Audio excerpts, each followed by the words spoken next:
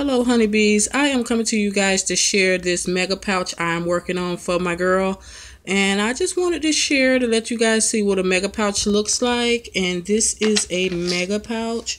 It comes in several different layers so that's the first layer of glitters and then you will flip the page and there go your second layer of glitters and you will flip the page and there your third layer of glitters and other stuff.